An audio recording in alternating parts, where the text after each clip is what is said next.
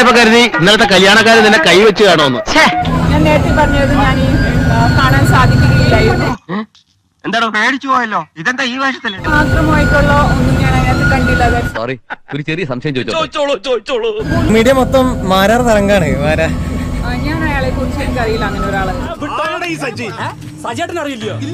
ഞാൻ അയാളെ കുറിച്ച് എനിക്കറിയില്ല അങ്ങനെ ഒരാൾ.